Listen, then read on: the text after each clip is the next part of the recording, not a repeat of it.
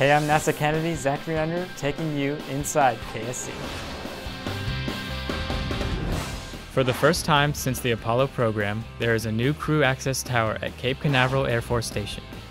The crew access arm for a new generation of spacecraft was lifted into place August 15th at Space Launch Complex 41. Workers are modifying the launch pad to give astronauts access to Boeing's CST 100 Starliner on launch day. The 50 foot long, 90,000 pound arm will form a bridge between the newly built crew access tower and the hatch of the spacecraft. Astronauts will walk across the arm to climb inside the Starliner for flight. Commercial crew astronauts Eric Boe and Suni Williams were joined by NASA astronaut Butch Wilmore as Aerojet Rocketdyne conducted a hot fire test of the company's RL 10 engine in West Palm Beach, Florida. The RL 10 engine is a critical element on the United Launch Alliance Centaur upper stage for the Atlas V rocket which will lift Boeing's CST 100 Starliner for a mission to the International Space Station under NASA's Commercial Crew Program.